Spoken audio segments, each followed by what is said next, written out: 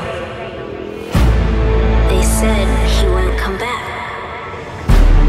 But this isn't a dream. And there's no running from the spook.